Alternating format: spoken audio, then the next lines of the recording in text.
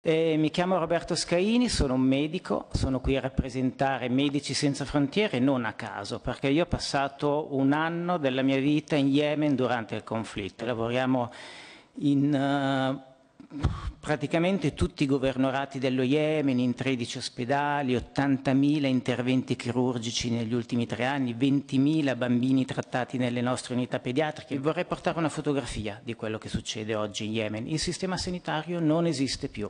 Era già un paese povero prima lo Yemen, che quindi attraversava numerose difficoltà.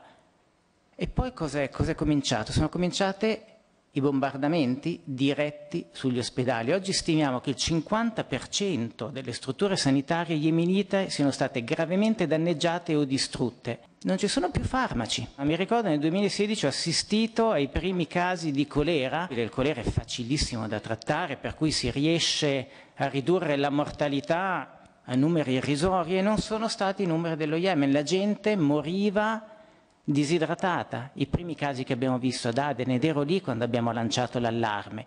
Un milione e rotti di casi. E questo perché le acque chiaramente non vengono più potabilizzate. Poi c'è stata la difterite, c'è stato il morbillo. Ma com'è possibile morire oggi di morbillo? È possibile in Yemen perché non ci sono più le vaccinazioni mi trovavo a riaprire un ospedale che era stato bombardato un anno prima e già questo io mi dovrei già fermare qui, un ospedale che era stato bombardato. Una giovane donna che è venuta è arrivata troppo tardi, aveva partorito a casa, dopo quattro ore ha raggiunto il nostro ospedale, non avevamo ancora neanche la luce in ospedale ed è morta di quella che tecnicamente si chiama emorragia postpartum la placenta non era stata espulsa e quindi la donna ha continuato a sanguinare ed è morta di shock emorragico, che è una cosa assurda. Trattare uno shock emorragico per un'emorragia postpartum è facilissimo, ma non lo è più quando il paziente ti dice che è arrivato dopo 4-5 ore dal travaglio prima di tutto perché non ci sono più mezzi di trasporto, ma soprattutto perché quando ti muovi in Yemen sei un bersaglio. Questa è la realtà e questa è la fotografia